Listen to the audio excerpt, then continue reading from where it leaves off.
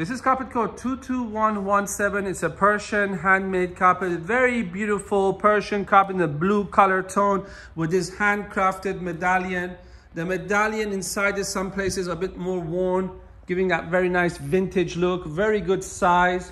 The carpet was just uh, opened before the video, so it's a little bit not so flat. This will flatten out over time, as always with carpets.